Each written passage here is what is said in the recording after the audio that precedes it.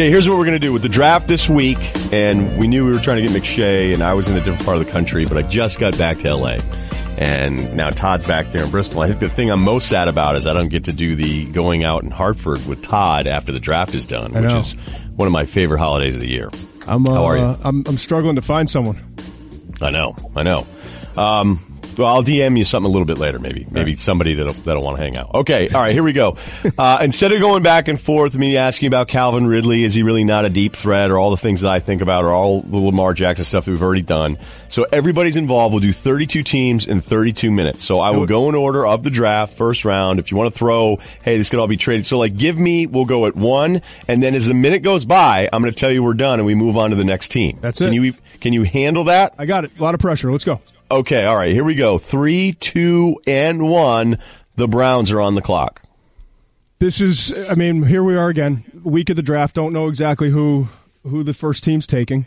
I think this. I think that when you go back and look at some of the quarterbacks they've had over the years, I mean, from Tim Couch to Brady Quinn to Brandon Weeden and Johnny Manziel. Listen, John Dorsey doesn't. He didn't make those mistakes. He doesn't owe anyone anything, but he knows, just like everyone else knows, you got to get the quarterback right. And that's why I think even though Saquon Barkley is a better player and higher on just about every team's board than any of these quarterbacks, they're going to wind up going with either Sam Darnold or Josh Allen. There were some, I would say, real light dustings today of, of Dustings of rumors. dustings of rumors, just sprinkles. Uh, Baker Mayfield, they could could still be in play. And you know what? The information's they're so tight-lipped in Cleveland that I, it would nothing would shock me outside of them going anywhere else but quarterback. I think it should be Darnold.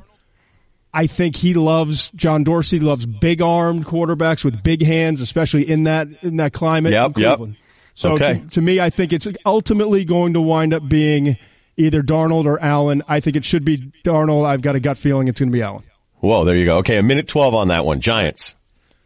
Giants, Dave Gettleman, he values pass rushers as everyone does. I think it's the second most important part, you know, position on the team. And Bradley Chubb is sitting right there. But he's from he's also from the the Napoleon tree and has you know value for the running back position. And, Brian or Bill? uh, Bill. Okay. Yeah. Just wanted to double check. and and I think that I think ultimately Saquon Barkley is the best player in the draft. And you sit there too. If you're going to use that pick, which I believe they are, I think they put so much value on this pick that they're looking at it and saying, you know what, we got to get come away with a legitimate. All pro, annual all pro type guy. And I think Saquon Barkley, what I'm told is that some really important people in that building love Saquon Barkley and think he's the new face of the franchise. He's the Tiki Barber, et cetera, et cetera. And I, I think ultimately that might win out.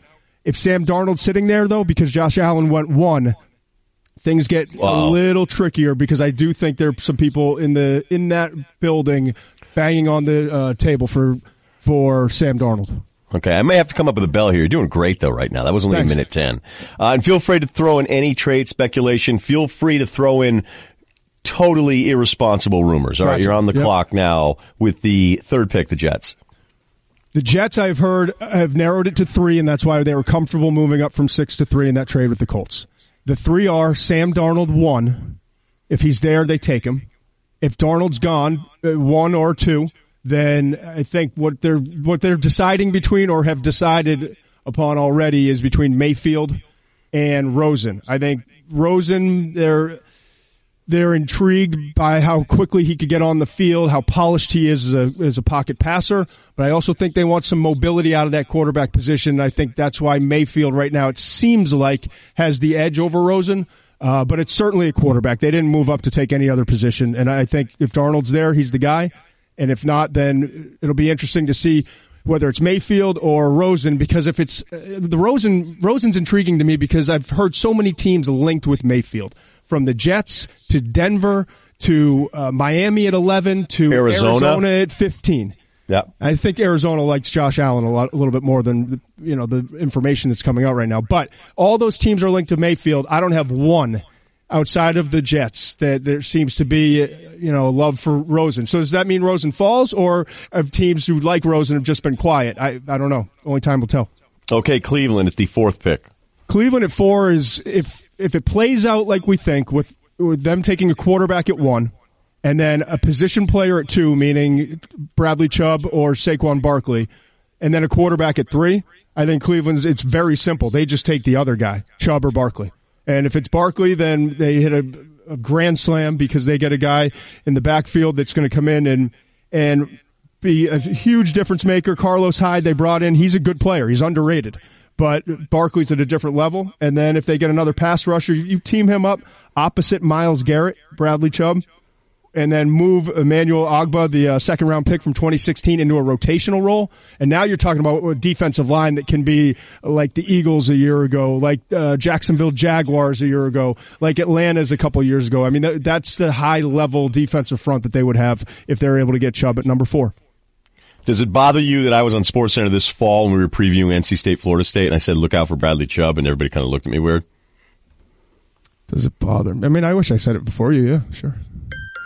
Hey, that's the new chime. I'm going to practice these. Oh, All right, Denver, Denver, the kind fifth of a pick. pathetic chime. Yeah, I don't like that one, but I'm going to I'm going to start chiming you in a minute. Go. All right, Denver. They, from what I'm told from multiple people, there is some love in the building for Baker Mayfield. Also told that if it, Bradley Chubb is there, he would be the pick. Denver values obviously pass rusher. They're another team that's had a great pass rush recently, and it's and it's been Super Bowl level. Now, the question is with Denver, are they going to trade out of that spot if Chubb's not there, which he, I, I, can't imagine he will be. I just outlined he's going two or four. And so if Bradley Chubb is gone, they like some other players, like a Denzel Ward cornerback from Ohio State. I love that dude. Yeah, me too. But if, if they're not going quarterback and Chubb's gone, are they looking to move back? And I think the answer is yes, they, they would be open to it if they got a decent deal. And I think those, the, the most likely team to move in would be the uh, Buffalo Bills, who are sitting at obviously 12 and 22 and have 53 and 65 and 60, uh, no, 12, 22, 53, 56, 65. So five picks in the top 65 overall. To me, I, I think if you can move back and take advantage of a very deep, strong draft in the second and third rounds, Denver would be smart to do so. Uh, but the Mayfield thing could be real. We'll have to see. Okay, the Colts at six going back to Denver, I know I'm over the time, and I'll shorten it up on the Colts. But uh, it's all right. but I do have different chimes I'm using. I know. I talked to I talked to a general manager who said when you look at what they just brought in, you look at Gary Kubiak, what he likes in a quarterback. They obviously spent the money on quarterback, uh, bringing in Case Keenum. Baker Mayfield's a better Case Keenum, and he fits what Kubiak would want to do. So that, that where some of the love could be coming from. All right, Colts. Colts are wow. simple. Move out of number number six or stay there, and it's one of two players. I think it's Roquan Smith. They need a, a an alpha dog, the centerpiece of the defense, and a, a guy who's a difference maker. And Ro- Roquan Smith from Georgia is, I think he's going to be Jonathan Vilma. I think he's going to be an absolute star in this league and, and be the leader of your defense for a decade. Difficult to co-host shows with. Yeah, very difficult. Exactly. um, and if it's not, if it's not Roquan Smith then Quenton Nelson, the guard, would make sense. You're trying to protect the investment in Andrew Luck, and I think they could take one of those two play, one of those two players. But the Colts, from all the teams in the top ten that are fielding calls, are the most, and I'm fielding one right now. It sounds like are the most likely to move back. They've been making phone calls trying to get back for a, even a below average deal.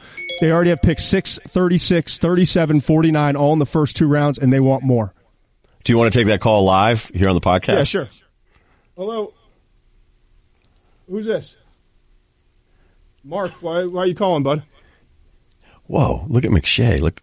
You want to see what? Power, what a power move that is. A team's calling I'm him sorry, and he's like telling him number, off. Oh. Is he from the XFL? I think someone wanted. Who's on? Uh, Will Cain? Yeah. I think they were trying to maybe call for Will Cain. Wanted to. Oh, that wasn't your cell. It was the studio no, phone. That was a studio phone. Yeah. Oh, you might have screwed up Will Cain's show. Is being taped during I mean, Will it, Cain's it show. It sounded like an eight-year-old who was scared. So I don't think it ruined the show. Well, I don't know what they're doing on that show all the time, but um, I think they. I'm looking at a monitor now. I don't think Sean they Payton. have Sean Payton as a guest, though. I think it's it's going to be. It's what are you saying? You saying you can't pull the big names like you used to? Uh, no, no, sure, sure he can. All right, let's go. We're but, on the clock. All right, all right, that's right. I'm sorry. Uh, these chimes suck so yeah, far. they suck, man. They do. And I, look, I'm not, I wasn't heavy selling. What about keys? Ooh, I kind of like that Okay, one. that can work. All right, so that's where we're going from now on. Or popcorn? No. No. I like keys. It sounds. All right, keys. I may get sick of it though, but all right, here we go. Let me get my time. I'm timing every one of these, so you know. Uh, here we go. On the clock, that puts us at seven. Tampa Bay. Tampa Bay, it's. I think it's safety. I think it's Derwin James. It's a name I've heard multiple times that they Healthy enough? They love Derwin James. They think he, James he's gonna he's healthy enough. He, I think he's just underrated when you look at him, the, the football player and what he brings. Eh, Teams are struggling with Minkah Fitzpatrick because he doesn't play the true safety position. They play him near that like that overhang where he's kind of in the box, but he's he's out. But that's like that's what everybody wants from these guys I agree, now, isn't it? I agree. I'm just I'm just telling you. And Derwin James's workout numbers are better, and Derwin James is a more vocal leader. But with Minkah, you're getting one of the smartest defensive backs to come out of the Alabama Alabama program, according to Nick and, and everyone else there. So both guys are really good players. They're both coming off the board in the top 12 to 15. Smarter than Dee Milliner. smarter than Dee Milliner, smart ass. Uh, and Double check. but I Derwin James is I, you can lock that in for the final mock draft. Let's let's put it that way. God, that was almost on the second. Okay, that puts us at uh, eight with the Bears.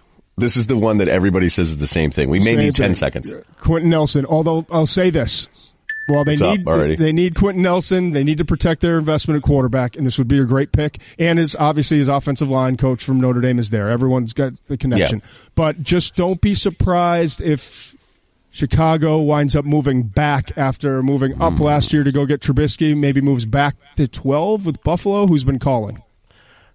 As as people like to say in my side of that, recoup some of that draft equity, Todd. Collateral, yep. Right, like you don't know uh, what the hell I'm talking about or what that would mean. Okay, all right, so that was quick. Niners at nine, go. 49ers, obviously, the Reuben Foster situation adds uh, an element to it, which is it's terrible what happened, and they don't know in terms of his future. And he played great as a rookie, but there's a reason he fell to where he fell, and, and you see the character stuff. So, long short, if Roquan Smith falls here, I think that they they would love to have him. And you think back to the combine when we had John Lynch and Jon Gruden doing the coin flip and how pissed off Jon Gruden was when he lost that coin flip and he didn't want to do the interview after because he wanted to get the hell out of there. This is the reason because they very Oakland absolutely loves Roquan Smith, and now they may not get the guy that they love because of that damn coin flip. And if you're John Lynch now, you may get the guy that you that you really need. You weren't expecting to need it, but uh, you may now. So I think Roquan Smith is the guy. If not, then look defensive back. Minkah Fitzpatrick would make some sense here, and um, and Denzel Ward in this scenario is still on the board too. So I think it would be defense for the Niners. Very likely to be Roquan Smith if he's there, and then if not, then I would say Fitzpatrick and Ward would be the two. Okay, then Oakland, as you said, they're at ten. You think that that Gruden it was just because of of Roquan, or do you think it was because he hates being in the media? Like now, he hates the media now that he's not in it. Uh, I think it was losing the pick. Okay, you know what? That's not why you're on. No. People don't want to hear your theories. They want to hear what the Raiders are going to do. my theories on what the Raiders are going to do is that Roquan Smith's there, take him. If not, which we don't expect him to be at all, um, then I, I think you're looking at Tremaine Edmunds from Virginia Tech and Vita Vea are two of the names I've heard they've have, have serious interest in. But to be totally honest with you, the guy, the information I'm getting, it's not John, and I think John is working with his staff, but ultimately kind of knows what his board is, and I'm not sure that everyone else in the building knows. Let's put it that way. Yeah, no, I have NBA teams that do that where they, they tell me all this stuff and then when draft day comes around, they always, every source I have, the team does something different from what my information is every year. Yeah, and there's certain well, he, teams just, that, he, he went rogue. He didn't. We, Right. didn't, we didn't know he was going to do that. That's the that's the phone call I expect to get the you know the day after the draft. okay, Miami at 11. Miami's interesting because they're I, the quarterback thing is real. Wait a But- minute, that they would move up or if somebody no, no, fell no. to them? Well, I'm saying the interest in quarterback is real, and I do believe Baker Mayfield is a guy that really intrigues them. But I do not think that they're willing to part with picks. They realize that they have multiple needs to fill, and that they have a quarterback, if he could just stay healthy, that they can win with. And I believe that to be true as well. So, you know, you got Ryan Tannehill. If Mayfield falls to 11, I think that they would pull the trigger. If not, I think I think that they're just going to stay home and, and best available, if you will. So Vita Vea would make a lot of sense with Adama Sue departing. I, I also think that just on the defensive side, they've got a, a bunch of holes to fill, and offensive line as well too. I, I think they could continue to try to upgrade that group. Wow, that was perfect. You're getting great at this. Okay, 12, the Bills. The Bills are trying like crazy to move up. And, you know, and it's for a quarterback, right? Of course. It, I'd heard that a month ago. Well, they moved up to, to number 12 already within the deal with Cordy, sending Cordy Glenn away. And I wonder if they would make that deal. Well, they knew about uh, Wood and then Incognito. Right, so they're missing three parts of their offensive line. Yeah, three. They're three best parts of their offensive Incognito, line. I think, is in Manhattan Beach. I've seen him when oh, I've been boy. walking around. I know. Do you think that'd be a good fit? I think I think if you see him in the same bar, you should probably just go find somewhere else. You, you, you don't two, think he and I would get along? The, the meat, the meathead fest that you two are with a few drinks. Ooh, I can picture some bad stuff. All right. So anyway, wait a minute. Never mind. Uh, Buffalo then. So moving Buffalo's up, trying to move up. I think that they is it because Josh Allen's hand size and the cold throws I that he's accustomed to that Laramie Plains wind? I think it's part of it. Smartass, I do. Um, you go back and look at look at a study of all the quarterbacks that have won a Super Bowl in the last ten. I think it's ten years or so. It, all of them have nine and seven eighths inches or, or bigger. So no, the hand thing I think is real, but I was reading something else that was like based on the Laramie wind currents that it was very similar to what you faced in Buffalo. Yeah, you can and you're cut, like cut through the wind. Right. No, I mean, right, he can, like but if no one else can he, can he play? You've, that's what you got to. That's the other thing, yeah, because he's any good. Figure out, but, um, um, but with I think Allen would be legitimately, you know, the, the target if they move up, but they're I don't think they're getting to two. So if it's not two, then we're talking about five with Denver would be the first spot. Six is the most likely, I think, to Indianapolis. And as I mentioned before, the, I know that the Bears have fielded calls uh, for for a team moving up. I don't know specifically the Bills, but I have to assume. Now, I'll also mention Arizona sitting out there at 15. The Chargers have been awfully active, although I don't think they're going to wind up drafting a quarterback. They had every quarterback in. They've had every quarterback most, in. Right. Yeah. New England has picks 23 and 31. I yeah. don't know what the hell Bill, we're going to get there. Going to do. I know. I'm just saying that. So there's a lot of teams trying to move up. So if you're the Bills, you have to realize there could be. I shouldn't say there are a lot. There could be other teams. So you can't take it for granted, and you can't wait till pick 10 to go up again ahead of Miami. I hear the bell. So okay. I, I think that that's what they're dealing with now. And if it's not quarterback, then shoot. I mean, they offensive line uh, what becomes the number one priority. Right, and then you're kind of in that middle thing though. If Nelson's gone, and then you go, all yeah, right, I Mike keep, McGlinchey, yeah, McGlinchey is that are we reaching there? Reaching, okay, yeah. okay, all right, never mind. I got to stop myself. The Redskins. I'm hearing Dez Bryant to the Redskins. No, that they would just draft him and then go, oh, wait a minute, wrong night. yeah, that's exactly what I'm hearing. Uh, so we're we're good on that. What else? What B le- what B level Riemann? go ahead. What do you have? Uh, Vita Vea, nose tackle. Daron Payne, nose tackle. There, I mean, this team's always drafting a nose tackle or a guard, right? Feels like it. I mean, Jonathan Allen last year, Ryan Allen, Ryan Anderson was the second round pick. Uh, they had Josh Doctson, I guess, from two years ago. That class is gone. Sua Cravens, Kendall Fuller, Nate Sudfeld, Stephen the whole Daniels, class, yeah, the whole class is gone. Brandon Scherff was the guard year before, so it was it was linebacker and offensive tackle in 14, guard and D end in 15, wide receiver and a backer that's gone in 16, and then defensive tackle, outside backer. And they still have needs on on the defensive side. They're, I mean, I'm looking at their needs right now: nose tackle, guard, center, and 34 outside backer. So. I don't know. It's it's an interesting team. Uh, they have to they have to hit it again this year after getting a good pick in Jonathan Allen. It won't surprise me if it's in the defensive front or the offensive line. Packers at 14. Packers need an edge rusher. I think, you know, everyone's mocked him there, but uh, Davenport coming out of UTSA, it would be, I think, a pretty good fit at this What's point. up with this group of edge guys from schools no one's heard of? Because it feels like we don't have the classic edge guys from the big boy programs that we're used to. Is that fair? Yeah, it is mostly fair. I, I think you know, you've got obviously Chubb, and then there's a drop off, and then yeah. you've, you've got Davenport coming out of uh, Texas San Antonio, Marcus Davenport. He reminds me of Ezekiel Ansah for Detroit. He's raw.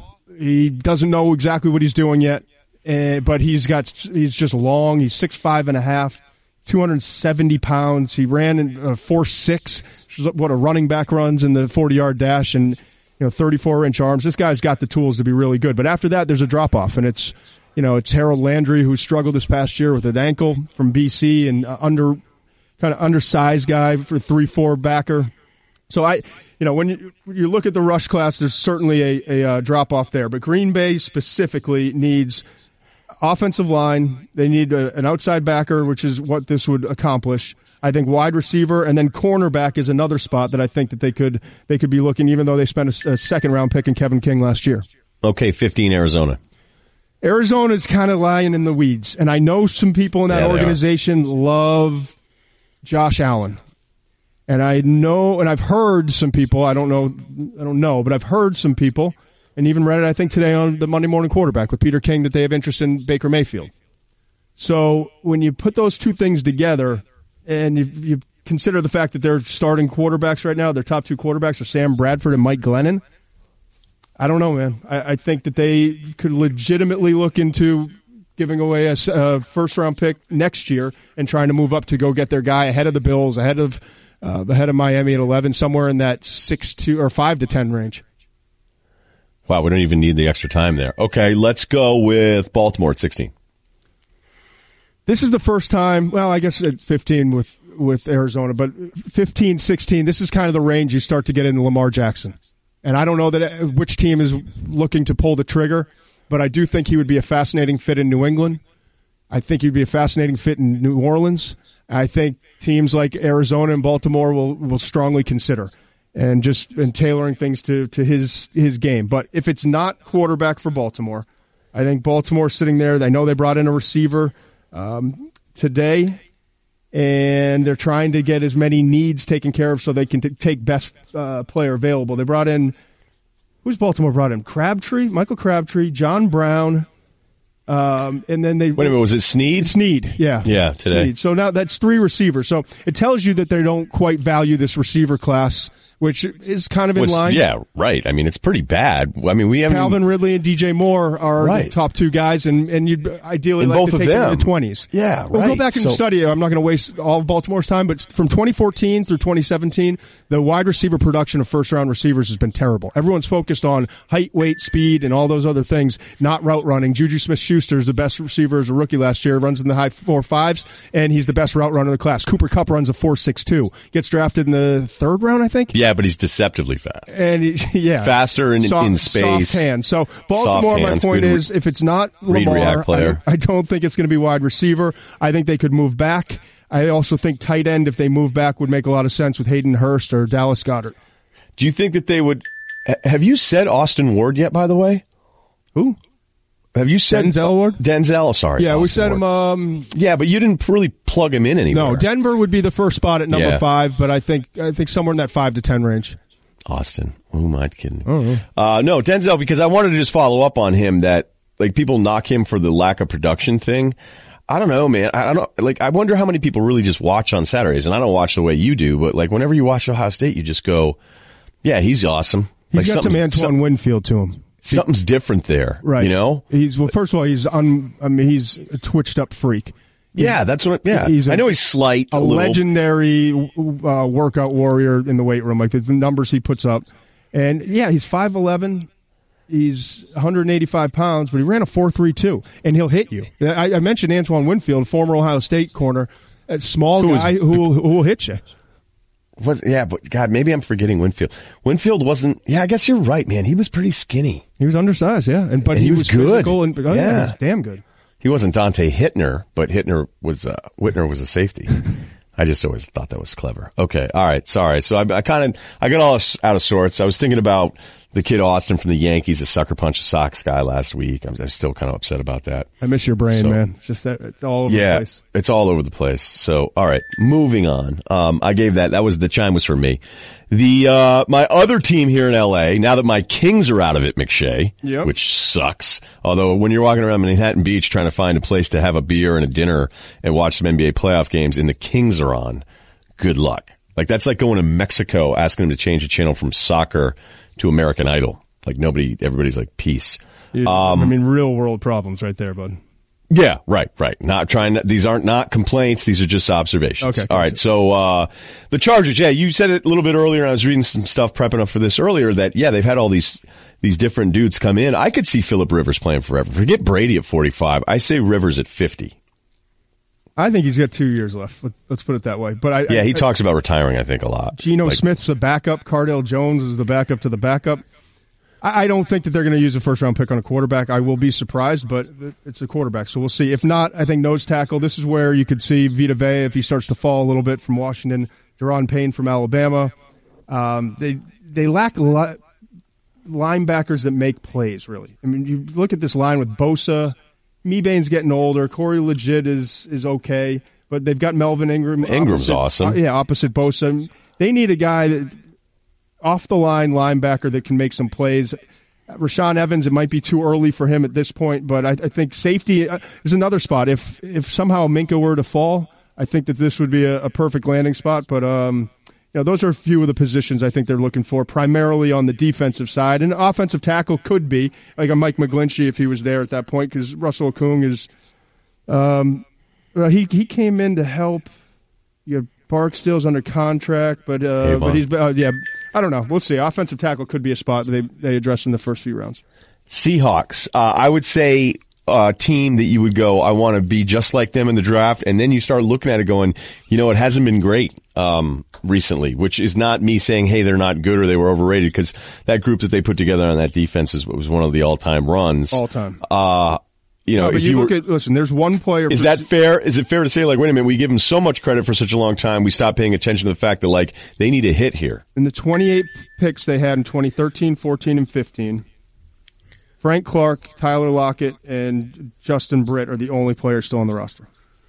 So, you know, they and, wow. and Ifedi from 2016 hasn't been hasn't been everything that, that they were hoping he would be. Malik McDowell is likely Michigan out, State kid, yeah, yeah, who had the accident and, and likely will be out of football very soon. So, you know, this is, they've had some hard luck. They yeah, that's not on the front up. But so I mean, yeah, know, but, it, but they took a risk, and Yeah. I, and it's a risk I would have taken. I said it at the time, and I would have been wrong just like they were. But uh, you know, that's what they've they've been dealing with, and at the end of the day, they've got to get. But you know, they Ethan Pocic at um at center was an 11 game starter. Shaquill Griffin, who's Shaquem Griffin's brother, was a, a third round pick and a starter. So they typically on the yeah, defensive the corner. Side, they've been, that's yeah. why they that's why they made some decisions on corner because they liked him so much. He was better. So Right. So this Yeah. year, what do All they right. need? They need offensive line again. Um, Aboushi opened uh, eight games at right guard. Joeckel made 11 starts at left guard. Uh, they're both unsigned. DJ Fluker's going to start at right guard. You know, they've just got a bunch of guys moving in and out. no one listened to me on Fluker. And Ifedi led the league in, with 16 penalties a year ago. So, you know, Did we did we give him a name? Who? Seahawks. We just we talked a lot about them. Okay, I think offensive line, McGlinchey is a possibility. Will Hernandez, uh, guard. I think it on the defensive side, corner could be a possibility, like a Mike Hughes or a Josh Jackson. All right, the Iowa kid. All right, because some people have him going even harder. All right, so let me keep moving here.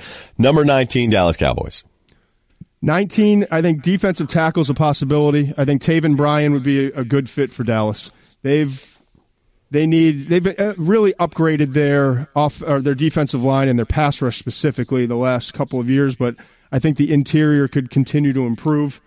Wide receiver becomes a, a high priority, and so now you're sitting there at 19. And do they like Calvin Ridley? Do they like DJ Moore? Those would be the top two options, in my opinion. I've heard a lot about Courtland Sutton from SMU. I think that's probably more so because everyone Yes. in the office went to went over to the workout at SMU, and, and Trey Quinn was working out too, and they've got um, they've got some other players. So I, I, there's this big link there with with uh, Sutton and Dallas, and I just I'm, I'm not sure I'm buying it.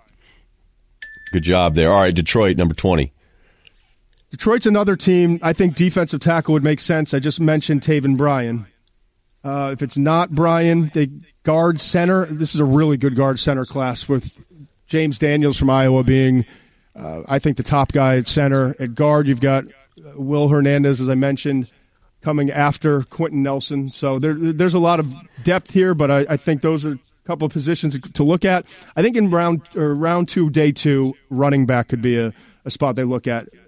Ameer Abdullah, the fumbles, and, and just has not been as productive as I thought he was going to be. I really liked him in 2015 coming out. LeGarrette Blount is there for just his the Blount role, and so now I think in day What? two, when you when you when you look at some of the running backs that could be there from Sony Michel, Georgia, Nick Chubb, also Georgia, Derrius Guice, LSU, Ronald Jones from USC, on Johnson, Auburn, um, Rashaad Penny from uh, San Diego State. You got a bunch of dudes in the second round, second, third round range where I think Detroit could find find another back to come in and compete. Okay. Um, do you like Quinn, their GM, by the way? He's about our age. He's from New England, too. Yeah, yeah. Do you know him well? I don't know him well, but I know. I'm surprised I, you guys don't hang out more. He's well respected and he's, He done, he's done a good job. Okay. All right. Cincinnati at 21. Since he's now getting linked to from multiple people, I saw it in Peter Lamar, King, but right? Lamar Jackson, yeah. And I got another text today. Don't don't don't rule out Baltimore or Cincinnati when it comes to Lamar. So um, it's something to keep an eye on. Center's probably their biggest need. I think that they this James Daniels is a, a good possibility here. Linebacker, they need playmakers. Vontaze is now, you know, out another four games with suspension. Yeah, but you don't get it. You don't understand it. He's misunderstood. Yeah, he is misunderstood. They brought in Preston Brown, but I, I just I think this team could use another linebacker. I think defensive tackle is another area. So those are kind of the top spots that I would look for. But the quarterback thing's intriguing because Andy Dalton has he plateaued? Wow, I didn't even think of that. Plateau is such a perfect word for it. Thanks. Okay, uh, Bills again at 22. Well, did they get their quarterback? And if they did, then then all is good. And they likely gave away either this pick or they gave away their two second round picks. And people love the second, third, and fourth round this year, right? Yeah, it's very deep, especially especially second, third. So uh, when you look at it after that, linebackers. My information on the fourth was bad then. No, it, it's good. Okay. some portion of the fourth, yeah. Uh, I think, I think that they could go. They brought in a center. They're kind of covered there. They could go linebacker. They could go right tackle. Um, they could go wide, bring in another wide receiver. So there, there's a bunch of different areas that they could go with. I think guard, linebacker, and offensive tackle are the, the top few. Okay, nice work. I don't even need the bell on this one. So that leaves us uh, with the Pats first time on the board here. This is the uh, the Rams trade here, 23. Again, how how interesting would it be if Lamar Jackson was here and had time to develop in the back end? Um, but I, What are you talking about? New England? yeah, Like the, my only knock on him, and we've already done this, is that I just thought it was funny that the easy throws were so inaccurate so often. And yeah. There's a, there's a, it's weird. tape, but I think you can I think you can improve him, and I don't think because of it, what he brings, I don't think he has to be awesome. I, I just worry he's got to go somewhere where they can coach and they're creative and they can they can make the progression reads. They can make it easier on him and give him tips to to help him. Hey, when you were watching him run, okay, I'm going to ask you this though, because like this is a great example, and I'm going to get rid of the chime here for a second because I, I think this is important. Is that RG3 clearly never knew how to slide, and he could Well, not RG3 protect was himself. a straight line runner. Right. He was But, like- never a, a twitchy guy. You would think after you get your ass handed to you a few times that you would then go, okay, maybe I should stop doing that thing where I get slaughtered out here. And then the first throw or that first game where he's with the Browns, he doesn't step out of bounds to the right, gets blasted in the shoulder, and then he's done again. And you go, all right. When I watched Lamar in college, I don't know if he can slide or not because I don't think anybody ever got a clean ankle on the guy. Like Right. when De'Anthony Thomas was at Oregon, I don't ever remember watching him get hit. I'm sure there's a clip somewhere of him getting hit clean, but what I'm saying is for the most part, he was just quicker than you. He was quicker than all you guys. It looked like he was going to score every single time. That's what Vilma so like, was saying today about about Vic. That that all the other guys he could track down and could get it. He just he couldn't run down Vic, and he couldn't tr- try, you know in the open It, field. but but Vic did it on Sunday. So I'm talking about two dudes on Saturday. Whereas you know you watch De'Anthony Thomas at Oregon and go, oh my god, you know, and then you know you you you forget who he is. You know, even though he's been able to stay in the league for a little bit. Now Lamar's going to have the ball more. My my point would be like, have you seen anything from him that that shows that he'll know how to protect himself, or is it just that he never had to, so we don't even know? Um, I've seen it, but he gets out of bounds. That's what he does. That's his, Yeah. his thing a lot. Is that he kind of sees it coming and he'll, he'll step out of bounds. I just can't believe how many times he'd run up inside of stuff, like the short goal line thing. He's 210 pounds, legitimately. He's not. He's you know. How tall is he though? He's six three, but Okay, all right, Cam- good. He's Cam growing. Newton, Cam Newton is uh. Okay, is well, forget that. 255 pounds. That's different. You and I sat next to each other for two, or stood next to each other for two of his sideline games, and there was that national championship again, game against Oregon. He ran it to the left side, one on one with a set guy in secondary, and juked him. And you Cam? went, yeah, Yeah, and you no, just, and Cam, I mean, but I'm, my point is, it, at 210, 215 pounds, you're not staying healthy in that league if Cam Newton at 255 pounds is taking a similar type of beating now, beating. and we got to worry about him every season. Right, and, and Yeah. is trouble having trouble staying healthy. So I, I think he's going to have to adjust his game in the NFL to have success, and that's why I wanted him to go somewhere where he doesn't have to play right now. He can continue to bulk up, and he's going to have people who utilize him properly and can learn. Okay. All right. So there we go with the Patriots. So Patriots need a left tackle for Nate Solder. They need an edge rusher. They need a cover linebacker. Rashaan Evans would make a lot of sense. We'll cover the, this pick and 31 so so that it's done with. I think Rashaan Evans would make sense maybe at 31 if he's still available from Bama because they need that cover linebacker. Mike McGlinchey would make sense. I'm not a huge Kolton Miller fan, both at left tackle. McGlinchey and Miller coming out of UCLA. But uh, in terms of measurables, this guy has it all and can be developed. And Dante Scarnecchia is one of the best teachers at the offensive line position in the league. So it might work out at, uh, in New England if, if they wind up getting Miller. So those are a few names for New England at 23 and 31. yeah, whatever. Tight end UNH. All right. Uh, Carolina at 24. Carolina can always use another weapon. Carolina can use an edge rusher. Carolina. Yeah, they really don't like their receivers. They don't put a lot into that. And then when they have them, I mean, you know, not to say that Benjamin was the easiest dude commitment wise, right? Um, I'm just, I'm, I'm talking out loud. I'm in a, no, never mind. This is for me. My bad. Guard, they lost uh, Norwell to Jacksonville. Safety, they they need to get younger. They need a difference maker. Kurt Kurt Coleman started 42 games over the last three seasons. He's he's gone. So you got a strong safety in Mike Adams, who's 37. I, I think safety could be a spot here for um, for Carolina. Again, they need they could use another rusher. They could use a couple different positions, wide receiver, but I think safety would be a, an interesting spot for them. I, I like Justin Reid out of Stanford. Might be a little too early. Okay. Ten, uh, Tennessee at 25. Tennessee needs an edge rusher. I think above all else, I think they need to find a guy who can come in and and um and just get pressure off the edge and and disrupt. They just don't have that guy. And you look at this year's class, and I, I there's a big drop off. If Davenport were to fall here to number 25, I think it would be an absolute no brainer. I don't know that he will. I think you're probably having to make a tough decision on a guy like Harold Landry who has the measurables and has flashed. Did it in 2016, but this past year wasn't the same guy. Um, I think it, but with the Orakpo's aging, Derek Morgan's, Derek Morgan, Erik Walden, those guys, he had four sacks a year ago. They've, they've got to find an edge rusher if they can. If not, then I think inside linebacker and guard, offensive guard, right tackle would be, um, would be another area for depth. Okay. Atlanta at pick 26. It's another team defensive tackle. I don't know. The problem is after the first few with Vea and and um, Payne and Taven Bryan from Florida, the, it really it kind of drops off. I think then you, you go in the second round with like Harrison Phillips from Stanford, B.J. Hill from NC State. There's this kid Nathan Shepherd from Fort Hays State. Uh, but Atlanta, I think defensive tackle would be one of the positions that they're going to try to address early. Guard, wide receiver, tight end. I think for more for depth, but I think guard and wide receiver would be the two spots that they would they would look if it's not defensive tackle. Number 27, Saints. Saints, I'd love to see Lamar here's becoming the Lamar podcast. I just think it would be the the perfect fit. If it's not, I think that they're looking at tight end as a possibility. And right now, you probably have Hayden Hurst from South Carolina and Dallas Goedert. Uh, Hurst a little bit more explosive, but 25, 26 years old. And Goddard coming out of the small school level, absolutely dominant, and he's the rare two-way tight end where he can play in line and can detach and, and go catch the ball, but not quite as explosive as uh, as Hurst.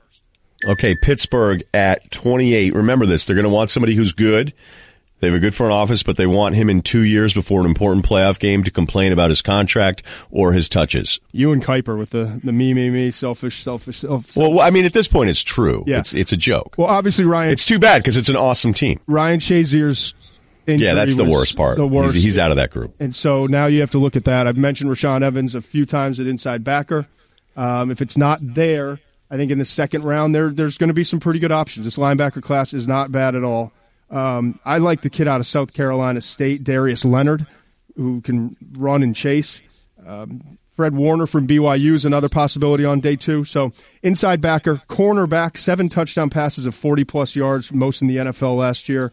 They've got to, they've just got to upgrade that position. Joe Haden isn't the guy he used to be. Artie Burns has been a 2016, I don't want to say bust, but he has not played to that level. So corner and inside backer, safety is another spot. Jacksonville at 29. Jacksonville. Jacksonville's all offense, really. I mean, they've tried to upgrade. Have you had Ridley going anywhere yet? Yeah, I had, I had Ridley to a couple potential spots, but Baltimore, Right. Baltimore probably not. Carolina? No. Carolina was a possibility. Hey, is Ridley eh, like my whole thing on Ridley? Like you know, my friends that ask me about it, and they go, you know, because they're only thinking about their fantasy and they're freaking out. There's no receivers, right, for keeper leagues. So this is man. By the way, there should be a dork chime here. Um, there we go. Um, Ridley was what 19 as a freshman at Alabama, and I don't remember what his 40 time is. You can give it to us here in a second. four four eight. Wow, see, that's still faster than people talk about. him. No, it actually might have been four four two. Damn, really? Because Yeah, then everybody's no, like, no, all right, his, his shuttles were terrible. His Yeah, all right. vertical and broad jump were terrible. He ran a four four three. Sorry. Four four three. Okay, faster than you would think. Maybe with the way Well, people he's built talk on about he's him. He's built on speed and quickness, and he's but here's what I think: is that when he went up for a ball, he won all the time. he wins a lot, and he That's what impresses me the most out of him. He's not the biggest. runner. He's not the He's fastest. best route runner, and this He's is what's the difference every year. I talked to you. I just told you, Juju You just. Smith-Schuster, the whole deal. Uh, This guy. so is he a run black Cooper Kupp? Yeah, sure. A little bit better. Okay, It's a good one. perfect. You can use that this week. Nailed it. Will you please use that on one Sports Center? Uh, I might have to. That's good. That's Actually, don't, don't, don't, don't use no, it. I it's don't want you- perfect because if I get in trouble for it or something comes of it, I can just blame you, and if, if not, I'll look like. Uh, if If- yeah, humor, if- then I'll I'll take. Yeah, if somebody goes, wait a minute, what's wrong with that? That's actually kind of, I don't know, like, is that bad? Um, all right. That leaves us, uh, 30 with the Vikings. Three more picks to go. Vikings offensive line, but you got to realize too when you look at their roster, they've got three players who are going to be up next year. Anthony Barr, I'm not sure they're going to be able to re-sign. They've got um, uh, Daniel Hunter, who's going to be up, and Sheldon Richardson. And now this isn't the same team now that they've gone all in on a quarterback in terms of the salary cap with Kirk Cousins. So they've got to start planning ahead and making sure that they're they're covered on the backside with young young players. So I think while offensive line is the obvious one, they're looking for a versatile lineman who can play guard or tackle. Um, I think James Daniels would be a home run. Um, if it's not in the first round, could it be like a Billy Price if he falls a little bit, or uh, uh, the kid from Nevada who's getting a lot of attention in the second round? Um, Brandon, no, sorry, Austin Corbett. So I think offensive line, but don't, don't be surprised if it's defensive front seven because they, they need to stay out ahead. Okay. The Pats We pick did- We 31. did Pat's 31 already. We covered both. Lamar Jackson again. Uh, the last pick here, then, your Super Bowl champs, the Philadelphia Eagles. They're going to trade out. They don't have a second or third round pick, I want to say. Yeah, they don't. They don't. They don't pick again you until. know, these guys are really these guys are good. Joe Douglas, Andy Weidl, you know, along along with Howie Roseman, they they get it. And so I, I think they'll do anything they can to move back and get additional picks and, and get more value uh, out of the draft. But if they're stuck, or even in, in you know early in the second round, I, I think when you look at them, linebacker could be a spot, but I think more wide receiver, guard, tackle, tight end could be some spots that they look. All right. I want to. Uh, That was a lot just- in 32 minutes, man. No, we did it. We did it. Uh, let me look at my timer here. We went a little over, but I think it is maybe the fastest 32 minutes. That's as, In- as fast as I've talked in a long time. yeah, but wasn't that better? Yeah. I liked it because it kept you locked in, and you got. It was weird because you almost in your head you were stopping after a minute, even without even you know the chime. Mental was clock, incredible, bro. Uh, you did a thing. They did an oral history of the mock draft on Sports Illustrated, which was awesome for people that love mock drafts and, and want to know how this thing all started. I thought I signed up for 32 minutes or so. I know, but can you just, I'm. I'm doing this. You can only take a minute here because I just think it's so important for people that don't like you because everybody gets mad at the mock drafters and I'm, I'm constantly like, I have all my friends who are like, oh, Mel's stupid. Todd doesn't know anything. I'm like, do you guys realize that like this is like your bracket, like everyone in your office except for one dude and everybody else is like, oh, my bracket sucks. You're like, well, that's kind of the game. So when you put out your mock for 2019 and everybody gets mad at you for doing it, I thought it was great that your quote essentially, and you can just take a minute on this and we'll let you bounce on how much you, uh, hate doing it. I do because I don't. You know, like I joke around about it. I, I first of all, I think it's ridiculous. We're doing a mock that uh, a year in advance. But- secondly, and, and more importantly, I I hate misleading guys that are that this is like the most important thing in their life, and I hate the feeling of putting down these 32 names and knowing that I haven't done tape on them. Yeah, I've seen them like in games and and I've caught a couple plays. Dude, one of here. your quotes was incredible. Like you said, "Oh, I put this guy at 15," and then you started watching his tape. Yeah, no, and you're put- like, "Oh no." I put a, a, Minnesota quarterback in at 32 because Is that Mitch? Because Joey Roberts was like, "Hey, this guy could be a Carson Wentz sneaker, uh, uh, you know, sneak into the late first round, or he could be kind of a, a sleeper. He's got great intangibles." I, I had seen him throw the ball like five times. I just, I, I, I go and then watch tape like three weeks later. How bad did you freak out when you watched? And this I is what Mitch Leidner, sick- Mitch, Mitch Leidner. Leidner, Leidner. I, I was his sick to my stomach. I was like, this is like sixth round at best. If he, if he develops, if he has a great year.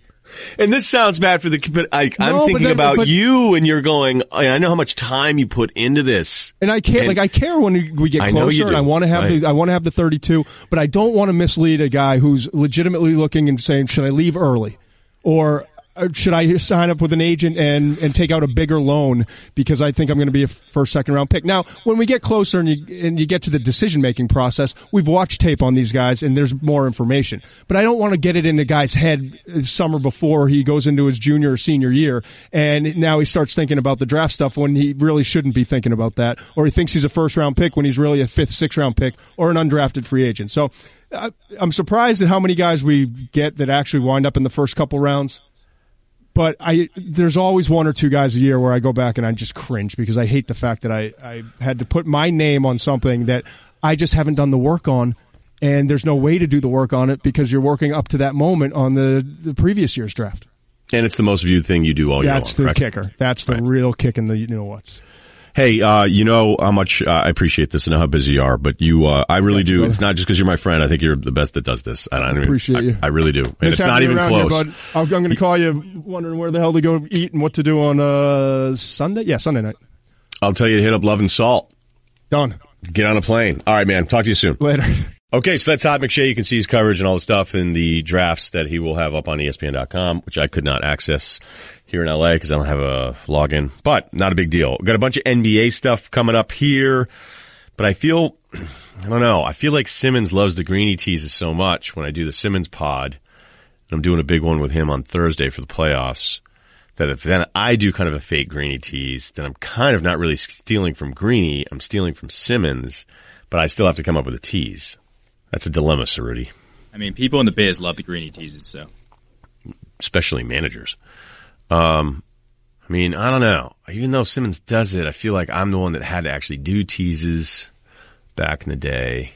Uh, all right. Well, here's here's I won't do a greeny tease yet until I've I, I need a further need to spend more time on this. So I will do uh, five things from the NBA and run through the playoff stuff. And obviously, there's one game I can't wait for. See, I couldn't even help myself. I did it anyway. Let's talk about SimpliSafe. Big news in the last two weeks. SimpliSafe won Editor's Choice Awards from CNET Magazine, PC Magazine, and The Wirecutter. Three respected product testers. They put SimpliSafe through a battery of tests compared to other home security products. SimpliSafe won every time. I've been telling you about SimpliSafe on my radio show, now here on the podcast for a while. My opinion, it's the best home security system hands down. They protect over 2 million Americans. This is a home security system you actually want in your home. And trust me, I had one that I didn't want. It was the worst. It used to go off all the time. I had to call some guy in Tennessee to disconnect it. And then I got SimpliSafe.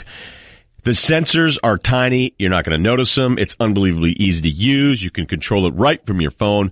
But here's the most important reason. This isn't a gadget. It's comprehensive protection for all of your windows, your doors, your entire home, 24 hours a day, 365 days a year. Professional alarm monitoring there for you around the clock is just $15 a month. No contracts. No one else is doing it like this. Learn more about how SimpliSafe can help protect your home. Go to simplisafe.com slash Ryen, R-Y-E-N. That's simplisafe.com slash Ryen, R-Y-E-N. Everyone in the neighborhood knew about Bobby. Bobby, the basketball boy, they called him. Bobby wanted to go pro someday, so he was always out in the driveway shooting hoops. But one day, his mom came out and told him Hey, your wife wants you to take out the trash? his mom was visiting. And Bobby was a grown man. He had kinda missed his window. Plus, no one had ever seen him actually make a basket. But on the other hand, Bobby had heard how Geico could save him money on car insurance, so he switched and saved. So it was all good. Let's talk some hoops. So, Rudy, did you enjoy the Orlando Magic Shelvin Mack tweet this morning? Uh, I actually loved it because the, the this is no lie. The entire season, I've been obviously followed them on all social media platforms, and I wonder how the person running that account could could be positive about anything because the season has been an abject disaster. And they'll still tweet out like, "Hey, here's a loss, but coming up, you know, we got the Jazz on Friday night. Make sure you buy your tickets now." And you're like, "What? How do you how do you remain so positive?" So this this isn't new to me, but it's new to like everyone else that isn't a, like a Magic you know fan or following one of their accounts, and it's just hilarious. Like I think it's actually kind of funny. I don't think the guy meant it to be funny, but it is funny. So I you know listen, I laughed it off. It's obviously terrible. Hopefully it's the last season that they have to deal with this crap roster. I don't know. Who knows? I sent a DM to the whoever it is, and I, I imagine it's multiple people that do the Sacramento Kings Twitter feed. And that, in a way, I mean, it's been more embarrassing than Orlando, but kind of the same here.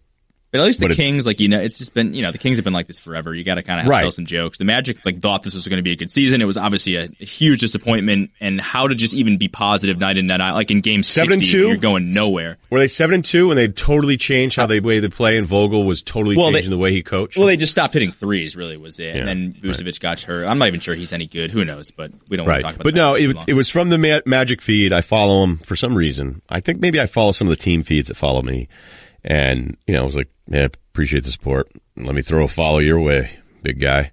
Um, male, female, all equal. Who knows who's running the sites? Both are very capable genders of doing it.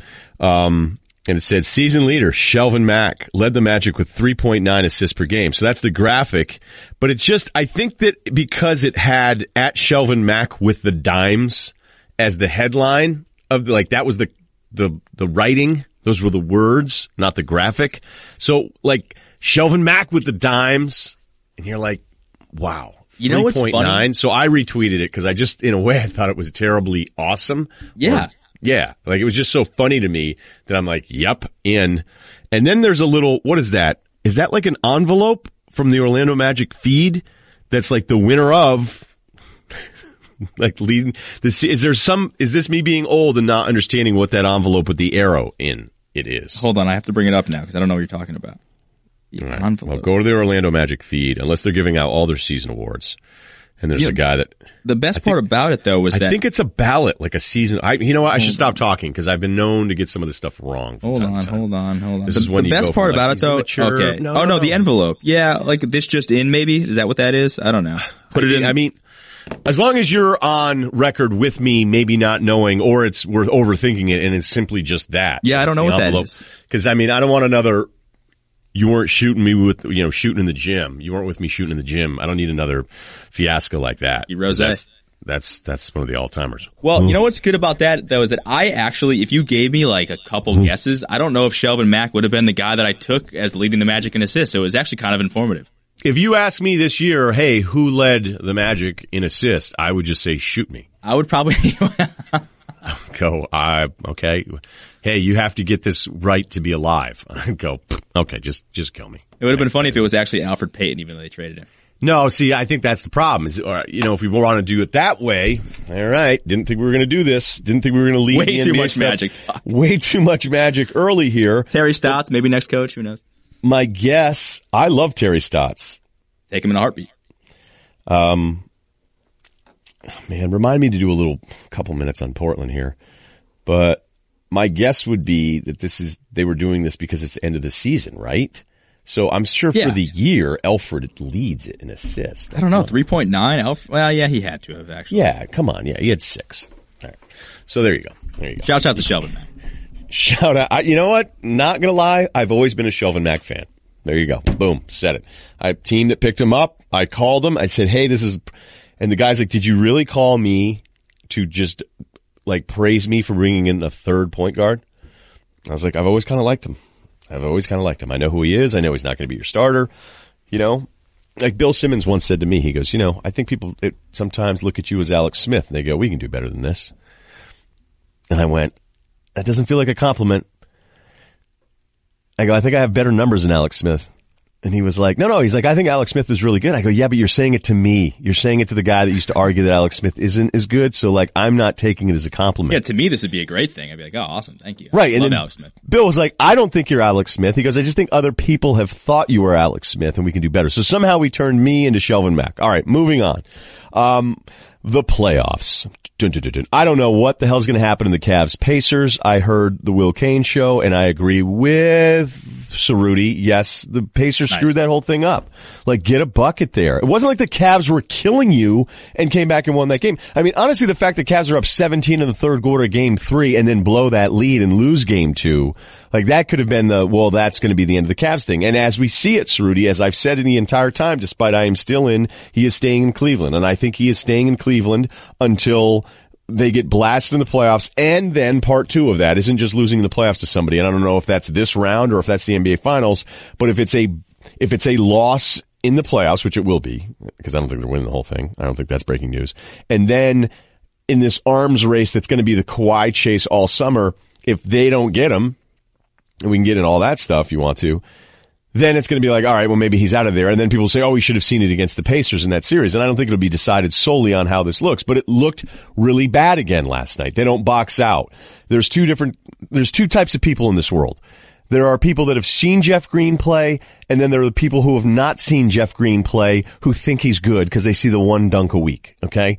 And then they, the new fan base gets Jeff Green, and then they tell the people that have seen Jeff Green and know who Jeff Green is, they say, no, no, you're wrong. And you go, wait a minute, I'm the one that dated Jeff Green. I know his deal. And then they come back to you a year later and they go, hey, you know what? You were right about Jeff Green. So, uh, yes, back to the original point there, Cerruti. I think that the Pacers lost the series in game four in those, those, that three or four minute stretch there. And I heard people talking about, oh, like the Pacers have controlled this series. I don't know. The, the, the Cavs blew two like massive leads in Two games three and four. leads. Like I don't know. I just I don't know. I don't know if the Pacers are clearly controlling this series. Like I, you know, and honestly, LeBron's probably just going to break the tie for most things. And now, do I expect LeBron to lose two out of three games? No, I don't. So that's that's why I thought that.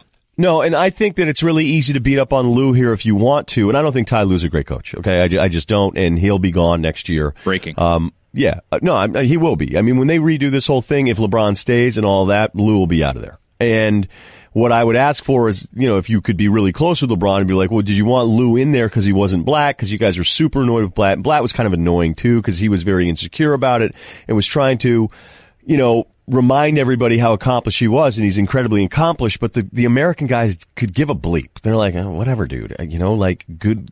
Congrats on your cups, your UEFA cups, right? See, that was a little Van Pelt Cerruti joke with Russillo back in the day. So Black gets out. Lue understands it. Lue understands time out of timeout tendencies, you know, of other coaches and that kind of stuff. Or you would hope so because he's in that NBA life. But I'm not going to just totally go against Lue here, even though, like I'd say with LeBron, I'd go, do you want somebody that's going to challenge you and piss you off and make you a little uncomfortable from time to time? Because that's probably what you need. All right. Or do you constantly want to be in control of everything and get to kind of like not have to listen to anybody? And I think that's what LeBron wants, but he probably needs the other thing more. Um, and I don't know if that's ever going to work out with a coach here, but Lue has had all of these injuries in the second half of the season with all of these new pieces. And so when you watch the Cavs, you see a team that still has no idea what to expect from anybody else. You, you just see that. You see a group that doesn't really trust anybody, doesn't even, eh, forget trust, doesn't really know anybody else's tendencies, and yet there's still 2-2 here with this whole thing. So I'm not going to totally beat up on Lue and say, oh, all the lack of rotation and these guys not being comfortable, that's all on him. He's trying to figure it out as he goes along. I give him credit for taking Tristan out of game three and seeing if this thing's going to work, because guess what? It looked like it was great when they got up that huge lead, because you go Tristan in this matchup, chasing Turner around isn't really great. And Tristan is just, it, that's how quick this game has changed in a couple years. You're like, he's the difference in some of these Golden State games because Golden State can't do anything with him to whereas now you're like, I can't put him on the floor in certain matchups. So, you know, I'm not really telling you anything that you haven't heard before with this whole thing. And in one minute I go, you know, maybe Cleveland still wins the East. And then last night when it looks like they're going to go down 3-1 and Oladipo still isn't playing that great of a game and nobody's boxing out. The Cavs are still screwing up defensive rotations. And for all of you Cavs homers that came after me about LeBron being good on defense, like, you know, he's on Thaddeus Young last night, right? You know, you like, are you paying attention to who he's matched up on? Now you're going to tell me he's tired and he played a million minutes. I already know every excuse before you even get out of your mouth. All right. I already know the whole deal, but they played four games in eight days with two days off between game one and game two. So like, even though you're going over 40 and LeBron has the least amount of help probably since that Spurs final series 11 years ago, you know, it's just a messed up team that could still come out of the East. But like, the more I look at it, Cerruti, like, I think the Sixers thing is totally feasible. Like, I, I you know, I, I'm more surprised at what they've become from where I thought what they would be as a new team that never played together. I'll be now less surprised from the start of the playoffs to seeing them come out of the East because they are scores everywhere. So there's seven or eight guys other than Amir and Justin Anderson. Everybody else can make a shot and everybody else can make a shot that isn't solely dependent on somebody else getting them that shot. And even though I don't love the Heat, and the Heat have the longest num- number of like players where I go, oh my god, that guy sucks. And then the second game, I'm like, you know what, that guy's kind of good. And then he sucks again in game three, so I'm not even sure how good they are. But that's why when I look at the Cavs, I look at the Cavs through the prism of not just against the Pacers, but what about the rest of the East? And now I keep getting back to the Sixers going, you know what, dude? Those fourth quarter closing problems, like it's only really shown up once in this series. Assess. I, I'm to probably just go down with the ship, and I'm going to be that guy. I, I think the East being so wide open makes me think LeBron and the Cavs are more likely to win the East, and like that's that's that's proving the fact that they will probably just end up winning the East again. Like I, I they're going to win the series with the Pacers, I think. Um, you know, the Sixers matchup is sexy, but I don't know. Like I, LeBron, like is he really going to lose to that team? Like I just maybe in the future, and I, like I'd love to see it happen because I think it'd be awesome to see like Simmons and these guys just like not give any bleeps about like seniority and it's my turn. Like they just go in and their first playoff run, they go and win the East. That'd be incredible. I just can't see that happening. But see, you know what I love about Philly here too is okay. We've always talked about their length and how they have all these defenders. Embiid didn't even play well in Game Four. Miami is trying to punk them. Miami is like beating up on them, and Simmons isn't having it. Like Simmons is like, whatever, dude. I get it. Like that's that's so impressive. And then you go, okay, so wait a minute, who's coming off the bench now? And you're like, all right, Belinelli and Ilyasova, who for whatever reason feels criminally underrated for his entire career. Like every time I kind of see him, I'm like, man, he's huge. He can shoot. He can rebound. He's not soft. Like, why is Ilyasova on a million teams? Um, Although I did think it was funny that some Sixers media guys were arguing with me saying, oh, you know, good, guy. I mean, it happens to me every time. And then like if I compliment them, it's like, oh, didn't you do this? And then if I say something like, hey, their fourth quarters I don't like, then it's, oh, you still trying to find a narrative negative spin. And you're like, dude, you're not even, you're not paying attention to any of this stuff. And then when I pointed out the fourth quarter struggles, they're like, well, it's a completely different team, moron, with Belinelli, Ilyasova, and then I'm like, wait a minute. So if it's a completely different team, then I'm totally off the hook for not thinking they made any good because they're totally different now than the team that started the season, huh? I'm like, oh, that was good. Yeah, You've done really, this before. Really no comeback there. Yeah. Like well, you told me it was a completely different team and that all my fourth quarter stats are stupid. So that gets me off the hook for the debacle. I had some dude from Ethiopia lighten me up. All right. Uh, moving on. Mm, what else did I have here? I can't wait for Russ versus uh, Rubio. But the thing is, is like people can sit there in game four and say, "Oh, Russ, you know, Rubio lit him up. Russ said it's never going to happen again." First of all, that is that is the uh, that is the culture right there. That is not liking the idea that it, that a Spaniard lit you up and you know they were up twenty on them like that. I mean, you want to talk about a stretch. Uh, but what's Westbrook going to do? He going to try harder? I mean, Westbrook plays basketball like a top in the living room, and you have a kid, and a lot of you guys probably don't play with tops anymore. I don't think I did. But you know what I'm saying, right? You spin the thing, you let it go, and sometimes it does some amazing, like really cool thing, but at the same time, like you're sort of at the mercy of whatever direction it goes in. And so like to make it do something different, would you spin it even harder? Like, no, you don't know what the hell's going to happen. So for Westbrook to say in a game four, like this is never going to happen, like what are you going to do? Like his, his effort level is through the roof. I think his effort level on defense leads to him making tons of mistakes sometimes, and then he just gets super mad. But like, what is he going to do? Dribble harder into traffic and try to make plays? So I, you know, that's like, that's different. Like I always know he's keyed up and he's intense and he's super competitive. So, you know, but that's another one of those series where I go, I don't, I don't know what's going to happen because that third quarter in game, uh, game two, where you know, the Jazz are right there with them. In the third quarter, the Jazz didn't score. It felt like for like nine minutes. It was awful. And then I go, all right, well, playoff rule. Who has more scores? All right, well, Oklahoma City has more scores. They've got Westbrook. They've got Paul George. And, you know, I know everybody hates Melo, but like he can still get buckets.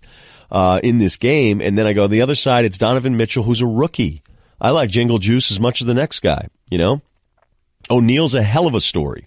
But, you know, you're going, oh man, you know, the Jazz aren't going to beat these dudes. They got one score and he's a rookie.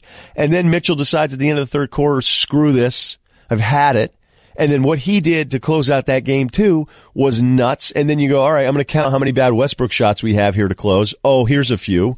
And so, you know, I still look, I, here's like all you guys that think that I hate the Thunder, I don't. I just I don't trust them ever. So I could still think they were going to beat the Jazz because the Jazz have one score and they have three. But that's another series I don't know what to do with. You know, I don't know what to do with Milwaukee and Boston. Milwaukee traded for two different players. Were, their deadline was after Game Two, and they traded for Thon Maker and Jabari Parker. And Parker went from somebody who wasn't good when he came back from the ACL thing. So don't tell me like, oh, he wasn't good just because of the ACL. Well, he wasn't good, and that's why Prunty wasn't playing him, who probably could update his look. But I don't have any hair, so I'm not going to say that. But I just I look at that that Bucks team and go, well, this is a completely different team, and maybe it's just at home, but I think it's more than that than the team that they played at Boston, where Boston's like, oh, it's Brad Stevens and Rozier, and that'll be enough with Horford, and now all of a sudden Henson, who I'd never wondered if he was, I was like, is he actually any good, or am I just being a jerk? You're like, okay, now you're not going to play him. So that's a massive amount of rambling there. Uh, Cerruti, so if any, you want to put any, uh, bumpers on any of that, Yeah. you let me know, but I couldn't believe how uh, forgiving, I guess, is maybe the word you were of Melo. Like he looks just done to me. I, I don't know if you could. I can't. I can't rely on him for anything. All I right. Look, you're right to point that out. Like that, that was a very passive compliment. Like I, I look at, I look at it. I'm not an anti-Melo guy either. I just, I just, I don't. I mean, game just two, the this- end of game two was horrific. No, no, he's bad. He's bad because he's not, he's not moving that well, and I don't think he knows how to fit in in this whole thing. And then we had Durant, by the way, like a, a, a thing about the Thunder weren't good because of Westbrook again. He did it again. Durant did it again. He liked something on Instagram. Um, that I try to, yeah. Which is always why I've said to you when everybody everybody goes because the Warriors blew the three one lead and that Durant was like, "Oh, I can go ahead and do this." I'm like, dude, it was always happening. I believe everything I've been told from the very beginning of the Durant rumblings, which go back a ways. Even if he won a title with the Thunder, like that's the. There's no. No, no, no, no, right? no, no. If no, the the the spin on it, the narrative is if the Warriors hadn't blown the three one lead to the Cavs in 2016. Okay, so yeah, that Durant that series. Right. Whereas I had heard it, hey, there's a possibility that he's going to want to get out of there. And the reason was Westbrook. So, um, let's see. I had a couple other things in here. I did the Philly deal. Oh, the Anthony Davis stuff. Okay. I think you'll back me up here. I don't know if there's anybody at ESPN that likes Anthony Davis as much as me. Agreed? I'm trying to think. Probably Over the years? Uh. Remember how mad I got about the GM survey where I was like, oh, so a year later we're all Karl-Anthony Towns and now we all like Yes. 11% are saying Davis. And I and understand that that seems part of really that. dumb now. Oh my God, I know. Like I like that, Karl-Anthony Towns, but he's not even close to that category. Uh, both of those guys at their peak. I mean, that's, and that was, there was something I'd said at the beginning of this year because Davis has been in the under 25 category for what seems like a decade. And you could argue, yes, he's been under 25 for 25 years. But, um, when it came out beginning of the season, it was Porzingis, it was Embiid, it was Giannis, it was Simmons. Although, you know, look, even at the beginning of the year, I don't think, if it was the very, very beginning of the year, Simmons wasn't even being put on those things because we realized how sick the guy was going to be. Okay. So, I would say, hey, when it's healthy, you know, it's like, it's Davis and my favorite catchphrase ever. It's not even close, but you know, that's what I think of Anthony Davis when healthy. And I can like Towns. I love Embiid. I mean, love, love Embiid. I love his, per- I love that he's like, oh, you're going to push me around and stuff. Okay. Well, um, like you guys aren't like, you know, none of you can really do anything with me. Like Hassan Whiteside. Speaking of Whiteside, I can't wait to read the local feature in the paper for the new Whiteside team he's on that explains how misunderstood Hassan Whiteside is. Not using him right. Yeah, not using him right. Miami's fault. It's, you know, really good, really good, really good. And then they'll go, oh, wait a minute. The Vontez perfect rule applies here. Um, so yeah, I mean, the Davis, so, all right. So fast forward to all the stuff that I saw this last week. And I know you guys are talking about it a little bit too. And that, okay, like this is where you start really screwing these conversations up. Okay. You start looking at skill set and what is real and what his ceiling is. And it's an incredible sweep of a Portland team where you go, so wait a minute, I thought they were good on defense. I thought they fixed their defensive problems and they were statistically in the second half of the season. And then you go, are there these things happening where the defenses look good and then they're fake good and then they stink in the playoffs? I mean, was it just a matchup thing or is it like again, where all of a sudden Thon Maker and Jabari Parker are good when you didn't expect it. Rondo's insane. Jrue Holiday looks like a first team all NBA point guard, even though I've always liked him. He's never been healthy and of course took time off to take care of his wife, so you're not knocking him for that. But then you watch them and go, wait a minute, Mirotic is sick now too, and he's banging with guys, and they have like this is this is so weird. Some of these teams that you go, why are we getting completely different playoff versions of some of these players? So back to my Davis thing. Like, you want to tell me he's more talented than Karl Malone, Charles Barkley, Kevin Garnett? I don't know. That one's a little tougher. You want to tell me he's more talented than some of those guys? I'd be willing to say Davis is maybe a top five talent this game has ever seen with all the different things he can do and that he doesn't give you any, like he doesn't hurt you at all. He's a huge plus defensively and all of his scoring is incredibly efficient. Like he's insane how good he is, but it's so unfair to do this to the all-time guys when a dude had just like he was just a game away from winning his first ever playoff series. Mm-hmm. So skill and then there's skill and accomplishment. And you can't start doing this thing like, you know, Le Batard's show was talking about Simmons and Embiid and they're going two top five players of all time. I don't think they were kidding. And they were kind of, you know, look, they weren't, they weren't saying, Hey, Jordan, Kareem, Embiid, Bird, Simmons, but it was, Hey, you know, what will Embiid and Simmons be? It, like, we're not that lucky, man. I mean, we don't have, four of the top five all timers playing right now behind Jordan in LeBron and then three other dudes that have no resume whatsoever. Well, like do this for 12 years and let's see where we're going. Because, you know, for you youngins out there, you don't realize that Kevin Garnett was Chris Paul, but even worse. Garnett couldn't get out of the first round for almost a decade. And then he's the consummate winner. And when he was a total loser. Now, I never thought he was a loser, but it wasn't happening for him forever. Couldn't get out of the first. I had that one run with the Afro Puffs team. And, you know, it just, before we start claiming Davis is better than McHale, Barkley, and Karl Malone, I'll give you that skill set wise, he's probably beyond 99.9% of this league that we've ever yeah. seen. But you can't do that to dudes that have multiple rings. And I know Barkley and Malone don't, but are, you know, first ballot Hall of Fame 15 years worth of contributions. Well, that's the thing is that I, we, it's not that they may be top five players of all time, but they're just guys that we have never seen before, right? Like we don't, we haven't seen somebody like Embiid with like the size and the skill that he's that he that he possesses. Like, and I think it just confuses us because we're like, oh my goodness, he can pass, he can shoot, He's a great interior defender. He's a great perimeter defender. Like who, who, in NBA history has ever been that? Nobody. Okay, he's the best player of all time. I because I, I, was listening to First Take and they had the argument: is Kevin is uh is uh Anthony Davis the second best power forward of all time behind Tim Duncan? And but they, the, the the the way they were framing it was like just at his peak, his skill set is that the best, second best skill set of all time. I think you could make that argument, but you can't. Yeah, you can't put him all in as an all time great as far as like accomplishments because obviously he's not even going to come close to that. No, no, and that's always. But I don't think it's ridiculous. I don't think it's ridiculous to say that his skill set is a top is a top two three power forward of all time. We're in agreement on that one, but like to be fair about all this stuff, though, because you know when you want to start doing let's do the time machine game, and then you threw McHale into a game today. You know, I still don't think anybody would be able to guard McHale in the post, but would teams even dump it down to him in the post? Exactly. You know, they'd go, "Hey, dude, like sweet up and under armpit moves." Um, which I'm a huge proponent of and still use. Uh, I think I have better post moves than most power forwards in the NBA. It's just I'm a shade under six two because I think I'm shrinking because of my back from squats. Uh, how pissed off will people get at that last statement? Definitely really mad. Well, there will be people that are pissed, and there will be people that want benching updates at your new gym, like with guys like yeah. So Garnett, Garnett getting out of the first round for the first seven years of his career, couldn't get out of the first round goes to Boston, wins a title. Uh, that was after nine years there. Let me see. One, two, three, four, five, six, seven, eight. That was eight years in Minnesota. And then he is the epitome of winning.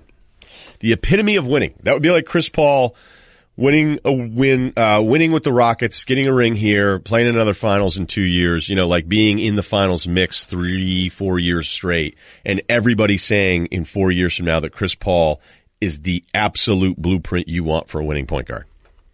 You would love that though. Um, I don't know. I still want to see this Warriors team do this because, but I don't know, man. I mean, it's really weird. And I, I didn't think, I thought they'd leave San Antonio down, excuse me, down, uh, up 3-1, but I thought they'd lose game three. I really thought they'd lose game three because I just think they're a take the foot off the gas type of team. And it may come to bite them. And it's certainly biting Cleveland with their, we'll just flip the switch defensively when the playoffs start. And you're like, hmm. Sure. I mean, they still screw up so many different things. Uh, yeah. So I was in Denver. I made it to the Air Force Academy. Check out, um, their facilities. Shout out to Chris and I think Scott. I hope I have that right. Uh, I met Troy Calhoun, the head coach, for maybe four and a half seconds.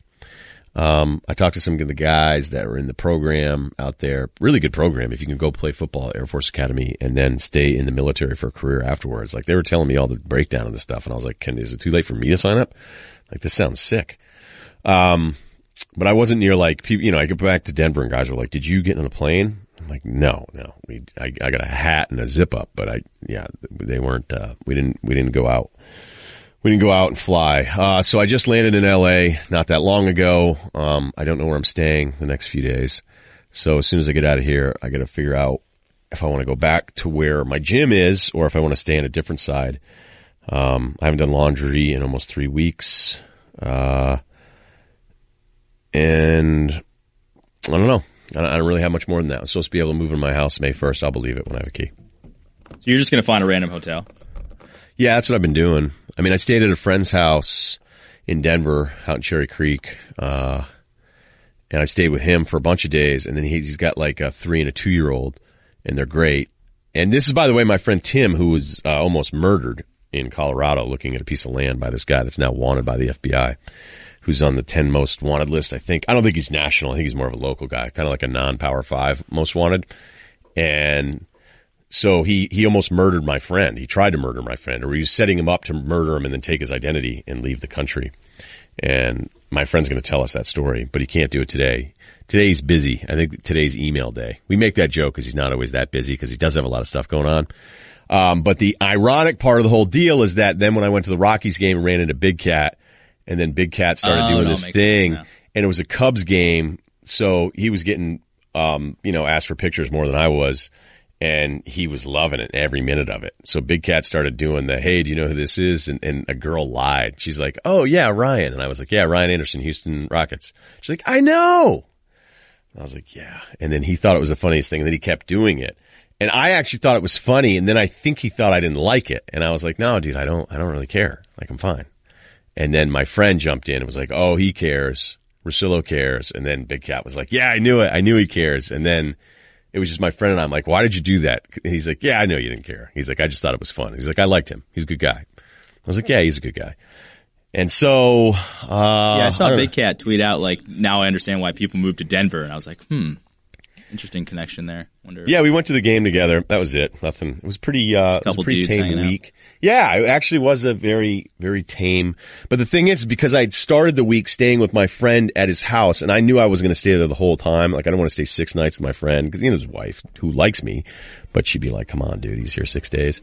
But then I started like really helping out around the house, and then my morning routine was the three year old would would crawl into the guest room about five forty five, six a.m. each day, and ask me to put on Paw Patrol or. Um, or Spider-Man. And so that's what we would do. And he would just jump into bed. And then like the, the third morning, I was dying. Like I hadn't slept at all. And I locked the door on him. And then I heard just kind of like a little crying, a little knocking at the door. And then I let it, I just like, man. And I felt so guilty because I ignored it the first time. And then the second time I was like, all right, I'll answer the door. And he's like, are you, did you not want to hang out today? And I was like, ah, man.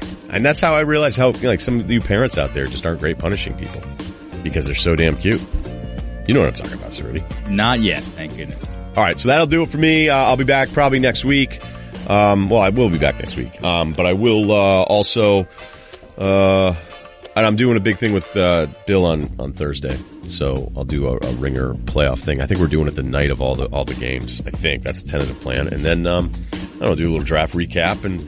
And maybe my friend who got murdered, almost murdered, almost murdered. Could be tougher to get him if he was. All right. Thank you. Subscribe, rate, review uh, to the podcast. Tell all of your friends to do the same. See you next week.